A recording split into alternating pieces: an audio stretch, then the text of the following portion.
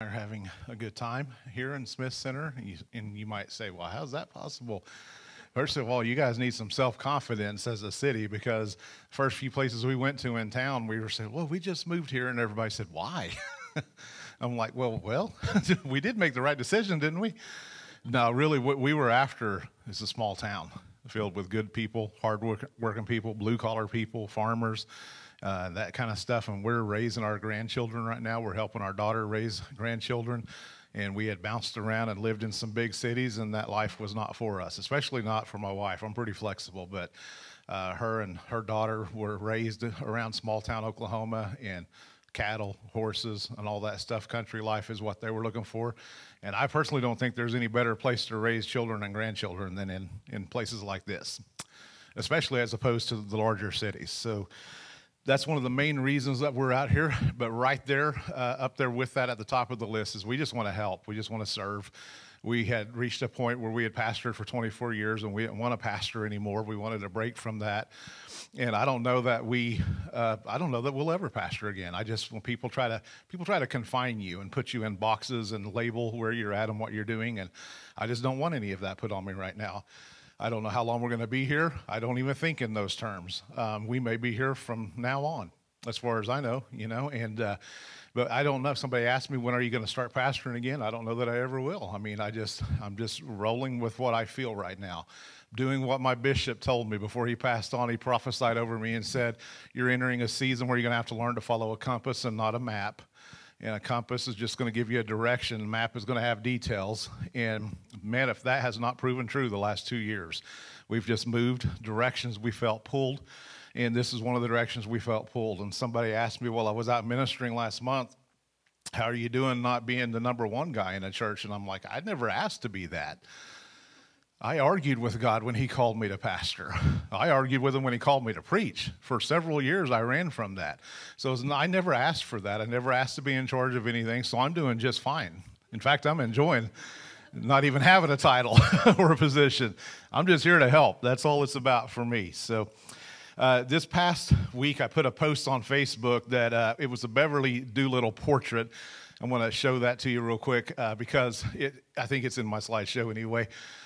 But it's, it's really interesting. I want you to see how many faces, just look at this. And if you know who Beverly Doolittle is, she's an artist that paints portraits and hides things in, in the portrait. And, and you just have to see how many horses you could see or how many faces you could see. And so look at this, take a quick look at this portrait and see how many faces you can see. And then I'll, I'll lay this out. Uh, I'll let him pull that up real quick and I'll just do some scripture reading. What's that? Second Corinthians 5.17 is where I'm going to be starting tonight while we're getting those pulled up. Second Corinthians 5.17 is a very familiar text. It says, Therefore, if anyone is in Christ, he is a new creation. Sounds pretty settled to me right there. Old things have passed away. Behold, all things have become new.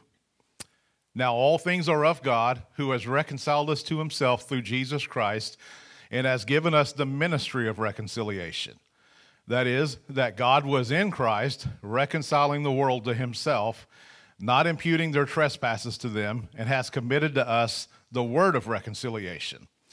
Now then, we are ambassadors for Christ, as though God were pleading through us. We implore you on Christ's behalf, be, uh, be, be reconciled to God. For he made him who knew no sin to be sin for us, that we might become the righteousness of God in him. So I've often made this statement the word behold is an invitation to see things from his perspective. Whenever you see that, there's uh, 1 John 3 1 says, Behold, what manner of love the Father has bestowed on us. And you have to be able to see things from his perspective to ever get a grasp on how much he loves humanity. And let me just individualize that. To ever really discover how much he loves you personally, you have to be able to see that from his perspective. Uh, this is another one of those texts Behold, all things have become new.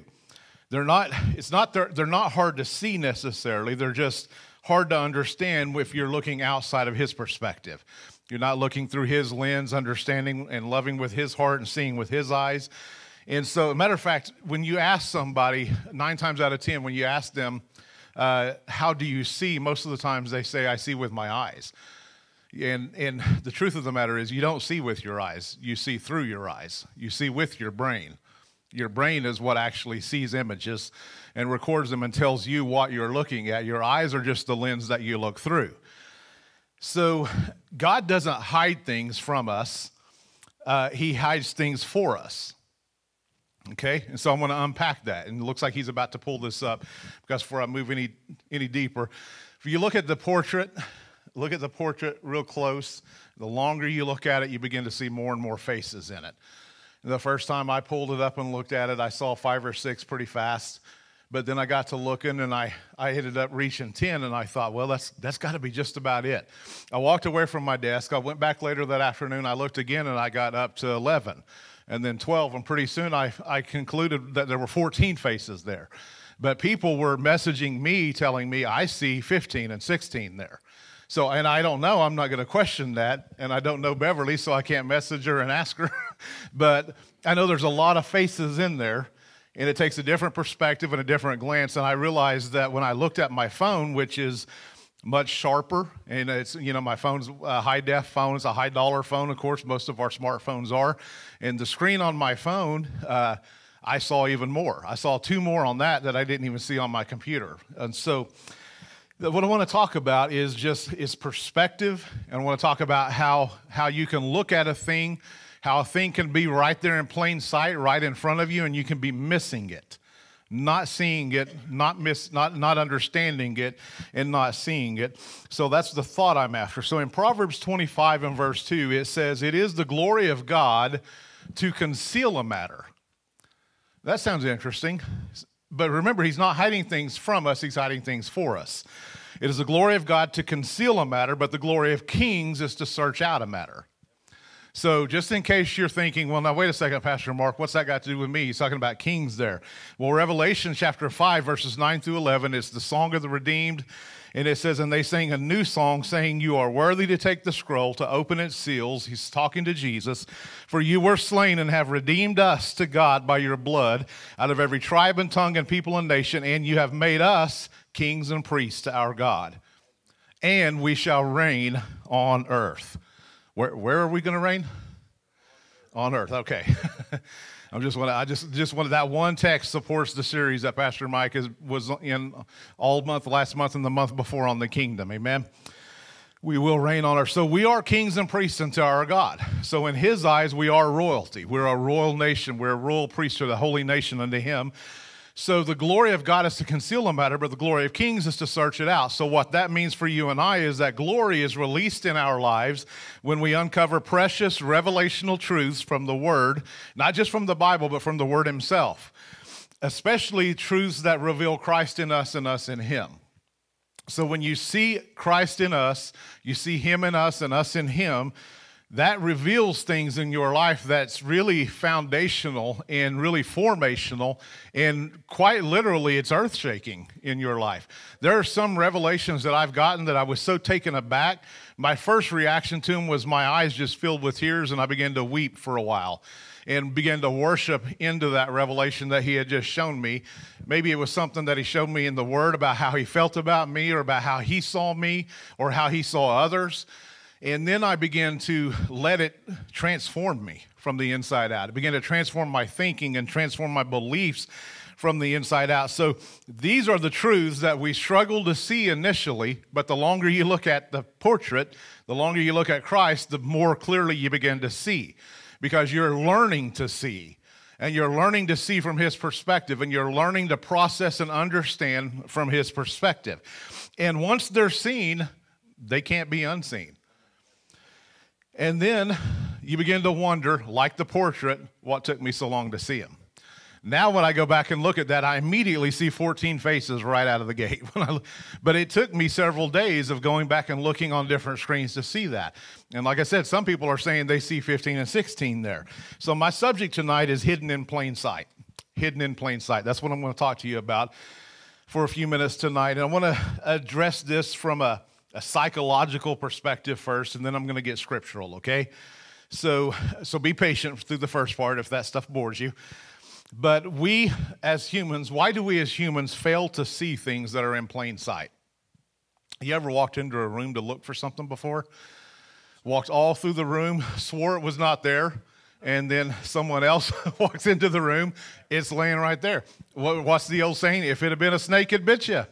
You know, I've been told that several times, and my wife likes to give me a hard time and call me an old man whenever I do that, but I've got her doing it too. And especially kids. I mean, uh, kids, you know, they, they walk into rooms, and I don't even think they look sometimes, but they swear they're looking, and then we walk into the room, and there it is in plain sight. So, what is it that causes us to fail to see things that are in plain sight? Well, the obvious top of the list answers are distraction and lack of focus. So that's right at the top. But I'm not even going to unpack those because those are so obvious that I really don't think those need to be explained and taught. Okay. But distraction and lack of focus causes. So if I walk, if, if she sends me into another room to go get something and I walk into the other room thinking about what I was in the middle of when she sends me to the other room, I'm distracted and I have no focus because I'm still thinking about what I was doing before. The guys are bad about that. And I, I, can tell you, guys are bad about that because there's sometimes she's looking at me and she says, Are you even listening to me? and I think, What a weird way to start a conversation. the rest of you will get that later.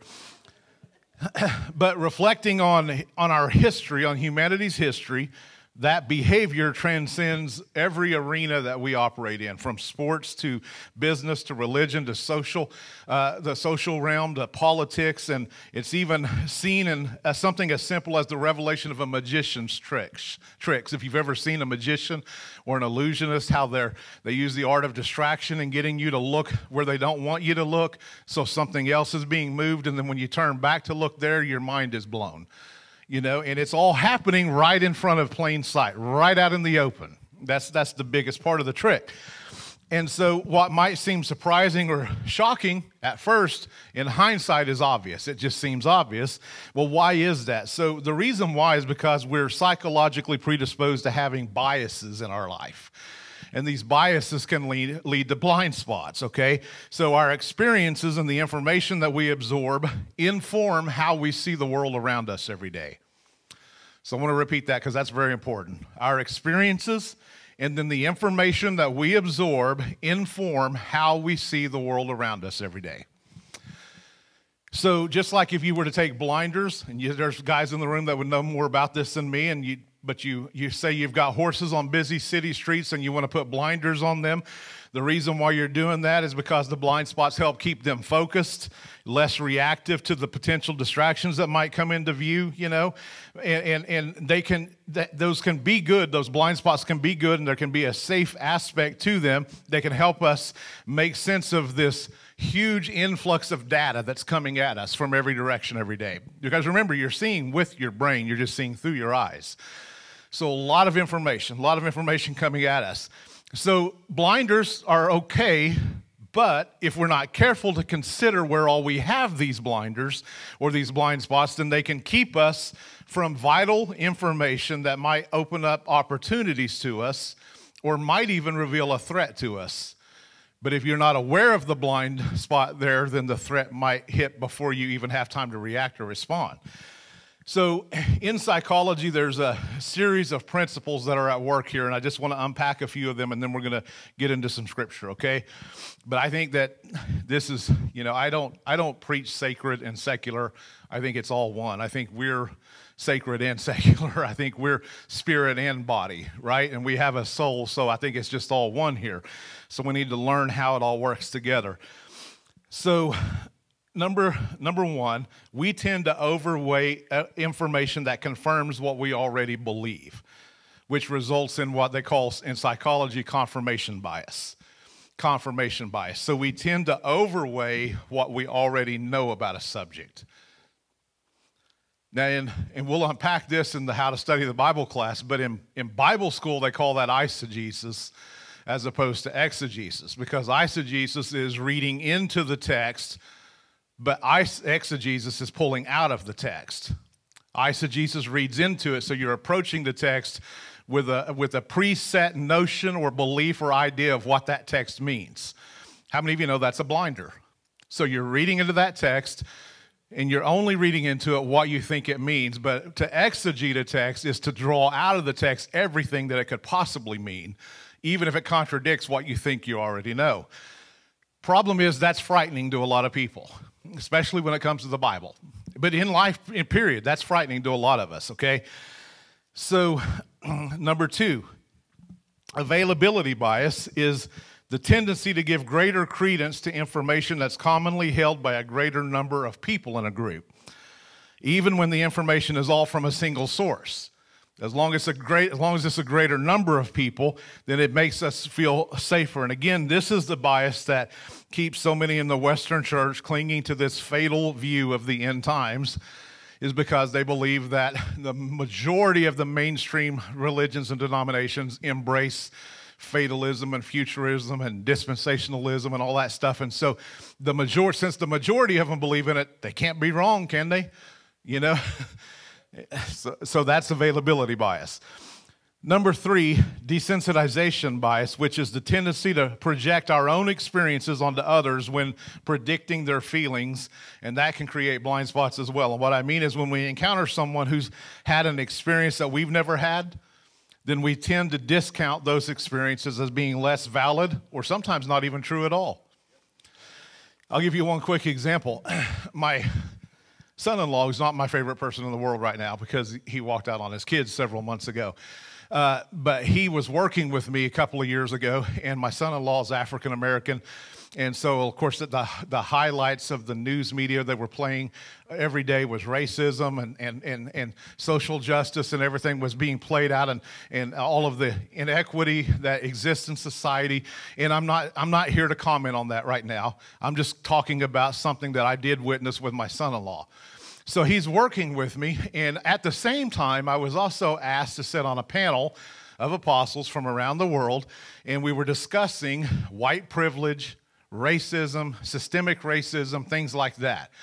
And so I told them behind the scenes, I said, I don't have a lot of experience with that because I've never encountered that. And they said, Well, that's the point. We want people from multiple backgrounds, multiple ethnicities and, and races, you know, even though there's really only one race and it's the human race but there are a lot of different colors, there are a lot of different ethnicities. And so I sat on the panel, I participated in the conversation, but the day of the panel, I was at work. I was installing a water softener on a guy's house. The guy had a really nice house, six, eight hundred thousand dollar house in a historic district in Oklahoma City. So I'm putting a water softener in, and he's dying to go to the lake.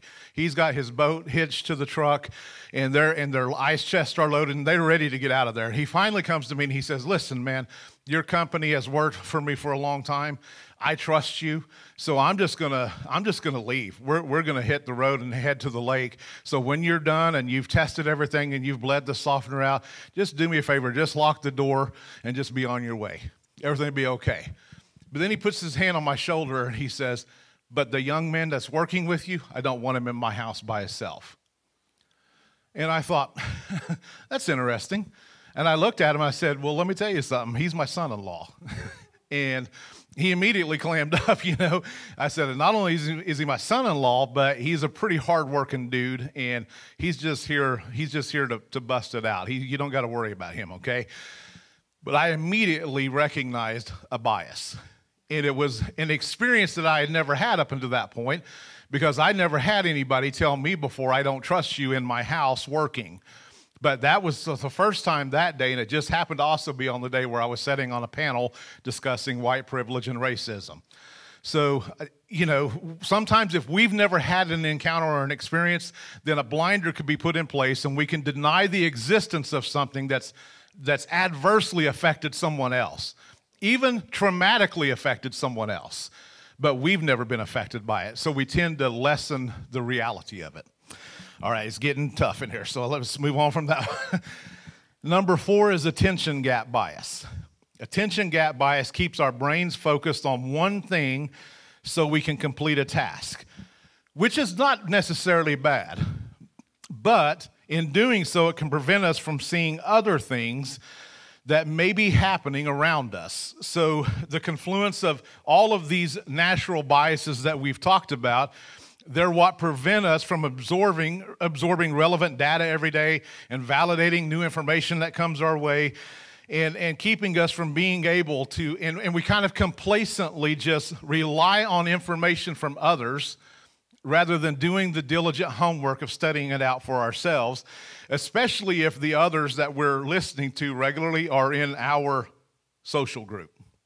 Then we just kind of give credence to them. Well, they're, they're, you know they're probably right. So physical blind spots can be dangerous, uh, like when your mirrors, you know, can't see that area beside your car. This morning, I was about to pull out of an intersection and I looked and it looked clear to me and I started to gun it and my wife said, Mark, and I slammed on the brakes and a car drives right in front of me. She said, How could you not see that? But the little, the part of the windshield that comes down, they were right there when I looked. And so that's why sometimes, you know, the best way with blind spots like that is, is to proceed with caution and patience, right? And because when you're just in a big hurry, that's how accidents happen. You look real fast, you don't see anything, you pull out, bam, something happens, you know? And I've been there before, and it's happened to me, it's happened to a lot of us probably. But that's a blind spot right there, okay? But these other ones that we talked about are psychological blind spots. They can cause the failure of imagination and they might have dire consequences in sports, like I said, in business, in social settings, in politics, and even in relationships. So, how do we remove blind spots? Right? That's gotta that's got to be the number one question. Well, first of all, just acknowledging that we all have them, that's the first step. Acknowledging that we all have them is the first step. And then being diligent in seeking information that doesn't always match our beliefs. Okay? So, what I've started doing, the thing, and this will come up in how to, how to study the Bible class, but the thing that really revolutionized my study life about 12 years ago, 10, 12 years ago, was I stopped studying Scripture to support what I already know, and I just started studying Scripture to see Jesus every day, to encounter Him, even if it contradicted a previous belief system.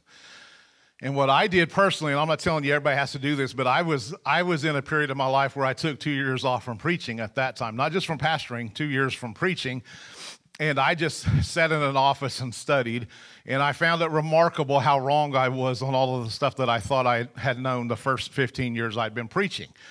You know, so I was like, we were moving at that time. Somebody found a whole bunch of cassette tapes and said, Pastor, what do you want to do with these? These are good. I said, throw them in the trash. And they said, What? How could you throw that away? I said, That stuff's 15 years old. I've changed my belief since then. I don't even believe that way anymore. I don't want people getting a hold of that and, and listening to that and hearing that from 15 year old data, 15 year old information, 15 year old revelation. You know, I don't want that. So let's hit the trash can with it. So when we when we're diligent about seeking information that doesn't match our beliefs, the tension points are where you can find insight. Tension points. And you'll know them because when they pop up, you're going to be offended right out of the gate. It's that area where you get offended, that's a tension point, okay? So, and you've also got to be willing to step out of your normal, normal routines and go outside your usual circles, you know, to, to seek out different points of view and feedback. So, what I started doing is going to different conferences, different, reading books from different guys that I wouldn't have normally read before. And you think you might be tempted to think, and what I had been told by the denomination that I was part of for a long time is, you can't do that. You know, you can't stick your head through the fence and graze from the other side of the fence. You're going to get brainwashed if you're not careful. But then I really realized most of us need our brains washed. We need to learn to renew our minds. And you, you, I don't need people telling me what to think. I need people teaching me how to think. And I never, ever in the, especially the last 12 years, have wasted any time trying to tell anyone I've been teaching what to think. I just want to equip you and teach you how to think and then let you discover Him on your own because you will encounter Him. You'll encounter the Holy Spirit on your journey. You'll encounter the heart of the Father. You'll encounter Jesus, the love of Jesus, and He'll reveal Himself to you in transformative ways that will blow your mind. And you might not even be sitting in a church service when it happens, right? So, last of all, rest. Rest, R E S T, rest is a salve for blind spots in our life. And here's what I mean studies show that our willpower or the ability to make dispassionate, informed choices diminishes greatly when we're exhausted. so, fatigue can prevent us from being attuned to key pieces of information. How many of you know that that's true in your life? I mean, it's true in my life for sure. When I'm tired, I don't want to decide. I don't want to make a decision, especially if it's an important decision. Okay? So here's what I'm really after, okay? Because I wasn't trying to just delay and detour there, but this is what I'm really after. I've heard it said before, I've thought it myself more times than I can count. I really do want to see myself as the righteousness of God in Christ. But it's so hard to understand, much less believe, and that makes it difficult for me to see. Makes it difficult for me to see. So we started off in Corinthians talking about if any man be in Christ, he is a new creation, right? The old has passed away. Behold, the new has come. All things are new. I want to believe that. I want to understand that, and I want to see that in my life. But the problem is, it's incredibly difficult to see at times. And it's enough of a struggle for us to believe that we're living in a new creation now, much less that we're living as a new creature. But that's what the text says. Not only are we in a new creation, we are a new creature in Christ. That means the world has never seen anything like us on this side of the cross. Everyone who lived prior to the cross is different from everyone who lived after the cross. The Holy Spirit did not indwell humanity before the cross, but he did afterwards. He came upon people in the Old Testament, but he moved into people in the New Testament. So now we live life from the inside out. We house the Spirit of the living God on the inside of us. That is the new man. That's the new creation right there, okay? So it's true that it can be very hard to see if you're looking for the wrong person. I want to explain, okay? Every Easter, every Resurrection Sunday, we celebrate that glorious morning of an empty tomb. You notice I said the word empty. There was no old Jesus to be discovered. There was no revived or patched back together Jesus in some sort of Frankenstein way, an old Jesus, but he had new life flowing from that old body. But that, that former earthly Jesus was gone. He was gone. When they rolled back the stone, he was gone. Something that happened that we tend to miss or, or overlook at times is this the Bible says Jesus was the first new man. First new man, okay? Says he was the firstborn from the dead. He was the first fruit. It calls him several different firsts, but Colossians 1:18 identifies him as the first new man. Now, he wasn't the first to be raised from the dead, and he wasn't the last to be raised from the dead, but he was the first to ever be raised from the dead and never die again. Everyone else, including Lazarus, that was raised from the dead, died again and was put back into the ground. He never died again. That's what makes him the first new man, okay? So, another thing that scripture reveals about this new creation man was that Jesus was hard for his friends to recognize. Let me just take you back and just recall, you just jog your memory a little, because you know these stories, probably you've read them before. But he, his friends at times had a hard time recognizing him. And, and Pastor Mike touched on it last week on the road to Emmaus. They didn't know who he was. It was though he had an ability to conceal himself during their interactions. Then, at the right time in the conversation, he revealed himself. And usually, it was when he steered the conversation away from the realm of fact and landed it on truth. Then, all of a sudden, he revealed himself. Can I show you? Have I got your interest now? At the tomb. He's there talking with Mary Magdalene. She initially thinks he's the gardener. She says, Sir, can you show me where they've laid his body? She thought him to be the gardener. So the fact is, she was witness to his death and burial three days earlier. The truth is, he was risen from the dead and he's alive forevermore.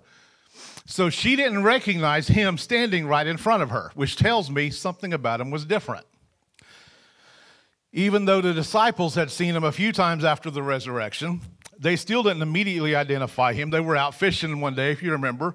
They're coming in from a toiling all night, and he's there with a fire built already. And he says, Bring the fish in and let, let me cook for you. And they said, We don't have, you remember the story from the, from the end of John, John 20 or 21? And they don't recognize him until he breaks bread. He cooks the fish and breaks the bread and prays. Then they know who he was. So the fact was, they had denied and forsook him in his hour of need. But the truth is, eh, he still and still is, he never forsakes us in ours.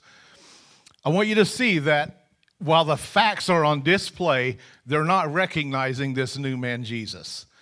But as soon as he gets them shifted away from the realm of fact onto the realm of truth, a revelation happens and they realize, oh my God, it's him. It's him. This is really him. Pastor Mike talked about this last week. The two travelers, when they're walking along the road to Emmaus, which, by the way, Most theologians believe this was theologians believe this was his aunt and uncle. Cleopas was his uncle and, and his wife, which makes it even more ironic that they don't recognize him, okay? They're walking down the road to Emmaus for miles with him, and they have no clue who he is until late in the day when he sits down with them and breaks bread and prays. Then the Bible says their eyes were opened, right? Their eyes were open. We, we heard about it last week. The fact was they had lost all hope when he died. If you remember when the conversation starts on the road, they said, Are you the only stranger in Jerusalem? Have you not heard what happened? How they crucified our Lord Jesus? You know, so facts. They're talking facts. But then when he's sitting with them, he begins to open scripture and expound on himself from Moses moving forward. And then when he prays and breaks the bread on the foundation of truth, replacing fact, they're like, oh my God, that's him. He is here and he sets our hearts on fire when he reveals himself. So, why do they keep struggling to see him when he's standing right there with them? It's, it's, that's what I'm talking about, hidden in plain sight. Well, it possibly might be, just like I stated, they've, he's shifting them from the realm of fact to the realm of truth so they could see a spiritual Savior. But another reason may have been this it's hard to recognize the new man if you're still looking for the old one.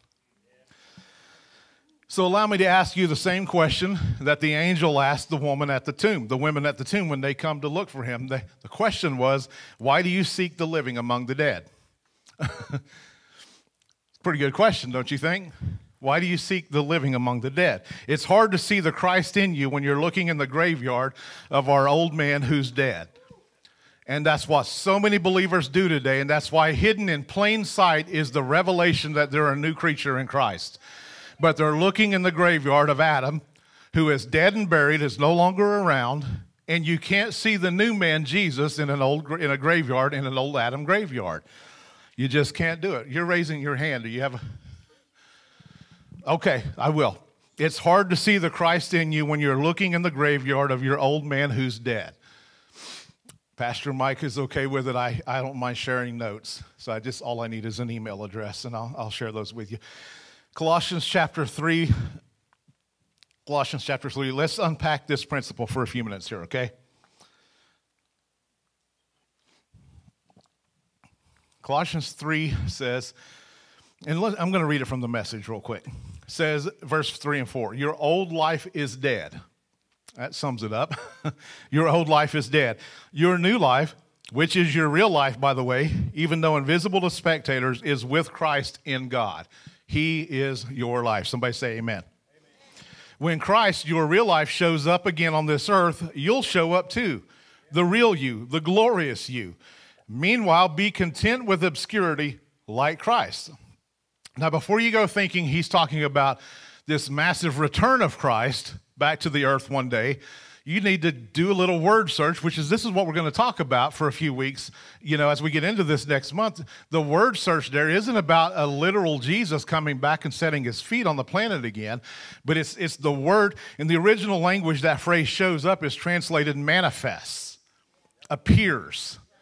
Now, I don't know about you, but he's manifested in my life more times than I can count over the years. He's appeared. I've had people come up to me before and, and give me offerings when I was praying about a need that we had in our life. Jesus just appeared. He just manifested through someone else. That's, that's him meeting a need through them. That, that's Christ, is what that is. Can I tell you that you guys were that at one point? I mean, we were here two years ago when we were getting ready to leave Oklahoma. You guys received a very large, generous offering from my wife and I on the way out. And Pastor Mike, even his mind was even blown when he handed it to me that next morning before we left town. He said, Man, this is just amazing. And, and my mind was blown. What is it? That's an appearing of Christ, is what that is. He appears through generosity, He appears through mercy, He appears through love. He appears through all of us. matter of fact, no, I'm not going to get onto that. If we spend less time looking for one man, Jesus, to show back up on the planet and start seeing him in everyone around us, then the body of Christ would stand up and begin to impact this earth. Amen. The voice translation, I don't know if you've even heard of that one, that's an obscure one, but the voice translation says this verse 2 stay focused on what's above, not on earthly things. Now, first of all, above, below, up, down. You need to think dimensionally, not directionally. Because in Scripture, he's not talking about way up there in heaven. He's talking about the dimension that is heaven, that is all around us, okay? The spirit realm. Stay focused on what's above, not on earthly things, because your old life is dead and gone. Your new life is now hidden, enmeshed with the anointed one who is in God. On that day, when the anointed one, who is our very life, is revealed, you will be revealed with him in glory. So, Jesus Christ is the same yesterday, today, and forever in character and in nature, but how he was with his friends on earth had changed completely, which apparently weirded them out because they didn't even recognize him. Matter of fact, he was walking through walls and doors without even having to use the doorknobs. There were things he was he was just doing things that the natural man can't do, okay? More than one time following his resurrection, he had to say to them, Be at peace. Don't fear. Be at peace. So I would say that he, they were a little weirded out by him, not recognizing him, him until he began to talk truth to them. And and because you remember what Peter had said when Jesus fed the 5,000 and he has this, this conversation with the disciples alone and the 5,000 leaves because the sermon gets really tough and almost weird. He says, Unless you eat my flesh and drink my blood, you'll have no part of me. And they're like, No, no, no, no. We're out. So the whole crowd leaves, and the disciples are all us there. Now, he, he did that intentionally. Now, most good teachers would try to back down off that statement. When you see you're losing your audience, you try to, well, I didn't mean literally, but then he repeats it again and says it even harsher the second time what he's trying to do, he, he wasn't there to be crowned king. He was not there to win a popularity contest and to sit on a literal throne. So he did things to intentionally, he fed the crowd, he healed the crowd, he loved the crowd, but he also ran them off when the time came because the 12 was his assignment. The 12 was his assignment. So he wanted to be alone with them to pour into them. And he asked them a question Will you go also? And what was Peter's response? Only you have words of life. So it's when we hear the words of life that we recognize him. And we realize for the first time, he doesn't look like what I thought he would. And he may be talking through someone I didn't think he would talk through. He may be moving in a situation I never imagined he was capable of moving through. But the one thing we do recognize the words of life. when he speaks the words of life and the words of truth, we come alive to that. Our spirit bears witness to his spirit. Are we doing okay? All right? You promise. Is anybody completely lost and confused right now? You wouldn't admit it if you were anyway, would you? So you're going to have to learn to look with your new creation eyes, not your old ones, if you're going to find the new man manifesting in your life, okay? So our old man lenses, if we could call them that, are clouded with doubt and fear and worry. If you think about it, Saul, before he became Paul, you know, the traditions that he had that were he was gripped by, the religious idea, ideas that he had, blinded him. He was zealous for God, but they blinded him to who Jesus was until Jesus meets him on the road, knocks him off his you know what, and says, Why are you persecuting me? And then he begins to see through the process of going to Ananias and he receives his sight but religious traditions can blind us to how amazing Jesus is and how transformed we are. And they can sound pro God, but be anti Christ the whole time. I mean, they'll use scripture to preach it and to back it up, and they'll beat the hell out of people with Bible verses, but it's pro God, but it's anti Christ and it's not finished work and it doesn't free anyone it doesn't transform anyone it doesn't it doesn't move people into faith from fear into faith. Faith comes by hearing and hearing the literal translation is the hearing. Faith comes by hearing. Hearing comes from the message regarding christ that's the literal translation. It's not faith comes from the message of God. Faith comes by hearing. Hearing comes from the word of God.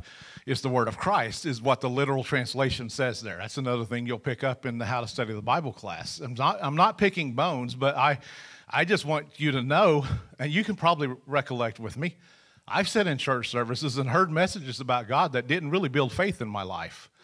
In fact, I left the room feeling kind of bad about myself and feeling like I got to do better. I got to try harder.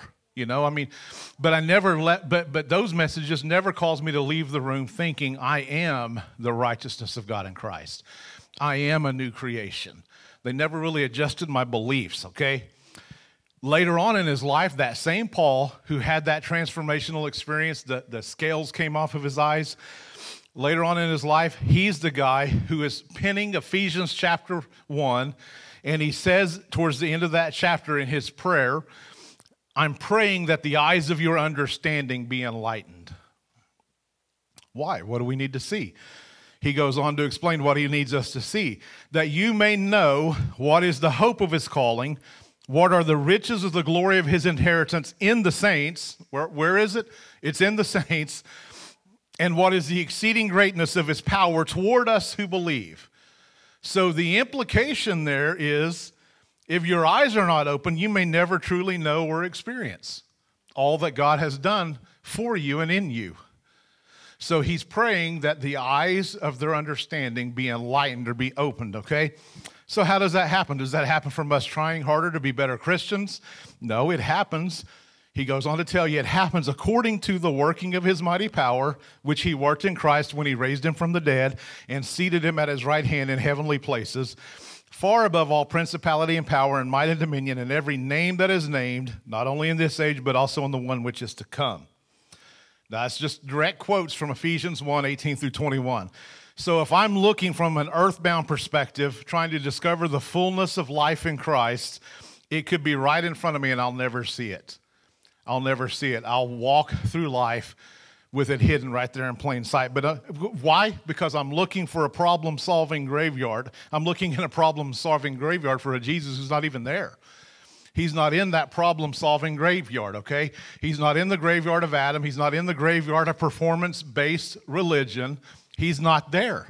They buried him in it, but he came out a new creation. Amen? A brand new man. So if he's not there, then we're not there because we started off tonight by saying, if any man be in Christ, he is a new creation. So we're in Christ. Somebody say amen.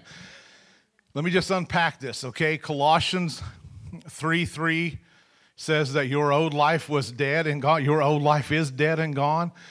So what he says there is his death was your death. His burial was your burial. His resurrection was your resurrection. His ascension was also your ascension. So, positionally speaking, we're now seated with Christ in heavenly places. Paul says that in Ephesians a couple of times. He says it again in Colossians. We're seated with him in heavenly places. So I know that's hard to understand, but it's only because we're seeing from a limited, wrong sided perspective.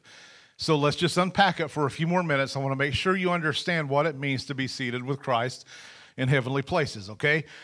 The word retroactive. It's a word we toss around in our language quite a bit, but it's really a legal term. It's legal terminology, and it refers to uh, uh, uh, legislation, a legal term or legislation used to describe activity that is enforced because of and all the way back to a date in the past. Does that make sense? Let me just give you a case in point. My wife filed for unemployment a few years ago because she was wrongfully terminated from a place. And the place fought it, even though they were going to lose it, and they did lose it. But when she finally did get approved, they, she got a deposit into her account for the amount that was four months worth of unemployment that she had been waiting on that whole time. That's retroactive payment. So I know you know what I'm talking about. I'm just trying to help you wrap your mind around the premise. What happened on the cross was a retroactive work.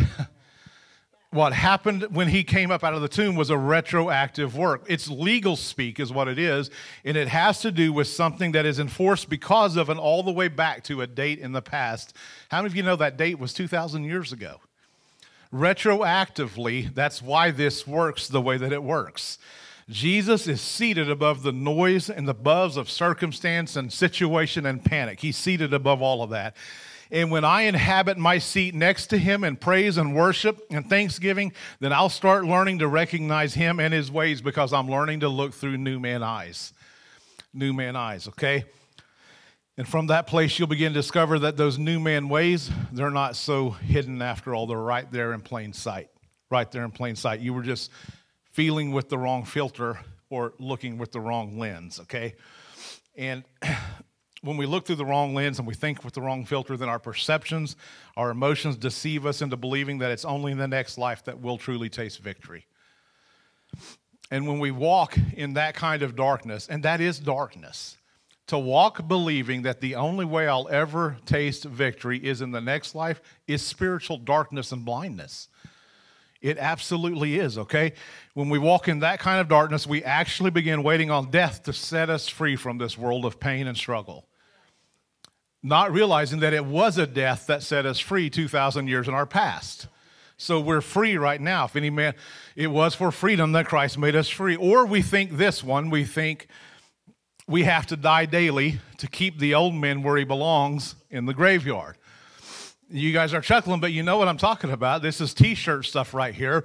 People have to people talk about us dying daily because Paul said it, we got to die daily. But you know, when you overemphasize that dying daily part, and I've heard Lynn say this before, you're putting more, you have more faith in the resurrection of Adam than you do the resurrection of Jesus Christ. If the old man died, just leave him dead leave him in the ground, quit raising him up, resurrecting him, and acting like he has any influence in your life anymore whatsoever, okay? Paul did not say that we have to die daily. What Paul said was, I face death daily as an apostle who is preaching the gospel for your sakes. That's what he said. That's the literal translation of what he said. So we've taken that and then we've kind of taken it out of context. Jesus said something similar. He said, You have to deny yourself, take up your cross, and follow me. But he was talking about learning to, to identify with and live the crucified life. You do have to deny yourself, absolutely, okay? And you do have to understand when he says take up your cross, he's not talking about we all got to be crucified to get to heaven. He's talking about identifying with what happened at the cross identifying with Him, okay? So when we put all the value on the afterlife, we, we fail to experience the abundant life right now, in the here and now. So I'm just, I'm going to find a stopping point here, and then I'm going to open it up for some dialogue, okay? And when we do that, we, we fail to see that his death in our past has already set us free from an old order, an old system, an old world, and even your old man. So, why do so many Christians struggle to receive grace and live a victorious life then? Well, I believe it can be narrowed down to one of two reasons. First, they're not properly valuing what Christ accomplished on the cross, so they don't really understand the finished work. Or second, they don't know what happened to them on the cross. Right? Now, before I'll, I'll, I'll talk about that and then we'll stop. what happened to them? Every believer knows that Jesus died on the cross for their sins. But not every believer knows or at least understands that they died too. See, it just got quiet in the room because we want to automatically in our minds say, Well, I wasn't there. But you were there in Christ. okay? 1 Corinthians 1:18 says for the message of the cross is foolishness to those who are perishing but to those those of us who are being saved it is the power of God. And, and the, the, the preaching or the message there is the Greek word logos which on the surface just means the spoken or the written word of God, but it also means the communication of or the communication of who God is and what God is like. Who God is and what God is like. So he says the preaching of the cross is foolishness, but but to those of us who are called, well, let me just let me just read it. Pick up at verse 19. For it is written, I will destroy the wisdom of the wise. I will bring to nothing the understanding of the prudent. Where is the wise? Where is the scribe? Where is the disputer of this age? Has not God made foolish the wisdom of this world? For since in the wisdom of God, the world through wisdom did not know God, so he cannot be known through wisdom alone, it pleased God through the foolishness of the message preached to save those who believe. Now, check this out. For the Jews request a sign, Greeks seek after wisdom, but we preach Christ crucified. And the reason why that world had such a problem with it in that culture was because to the Jews it was a stumbling block, to the Greeks it was foolishness, utter foolishness. But to those who are called, both Jew and Greek, Christ, the power of God and the wisdom of God, because the foolishness of God is wiser than men, and the weakness of God is stronger than man. Let me give you a couple of scriptures here, real quick, okay? Romans 6 8 says, And if we were co crucified with the anointed one, we know that we also share in the fullness of his life. Now, that's the Passion Translation. Colossians 2:20, first part of the verse says, For you were included in the death of Christ and have died with him to the religious system and powers of this world. Don't retreat back to being bullied by the standards and opinions of religion. That's a good one, ain't it? Colossians 3 3, the first part of that verse says, Your crucifixion with Christ has severed the tide of this life, and now your true life is hidden away in God in Christ. So we seem to have no problem knowing that He died. We understand that. But there's a disconnect with most believers when you try to convince them that they also died. That they died, and if they died, they were buried, and if they were buried, they too were raised. And if they were raised, then they too were ascended with him and seated in heavenly place. Now, how can that be possible? We have no memories of the nails, the cross, or the crowd that day. So, how can it be possible? But this is where, this is why the Greeks call it foolishness and the Jews call it a stumbling block. This is where we have to learn to take him at his word. We have to learn to take him at his word. If faith comes by hearing, but hearing only comes from the message regarding Christ. So until you understand and begin to identify, the more you hear the right message, the more you begin to believe it. So Jesus died for the whole world, right? We know that he died for the whole world, and you and I are part of the whole world. So we started in 2 Corinthians chapter 5. We started at verse 17. Let me go back to verse 14 and just read this. For the love of Christ compels us because we judge thus that if one died for all, then all died. And he died for all, that those who live should no longer live for themselves, but for them who died for them, for him who died for them and rose again.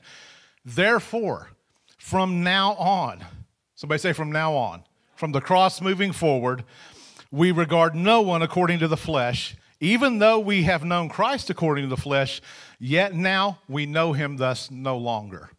I mean, Mike, to me, that text should sum it up that we need to stop looking for a physical Jesus walking around on the planet somewhere. Because he says right there, we don't know him after the flesh no more, any longer, okay? So we're not going to look through a lying lens anymore that tells us that we're not new, nothing has changed, we're still battling with an old nature. We're battling to keep that old nature down. What we're battling with, are you ready for it? Is a memory.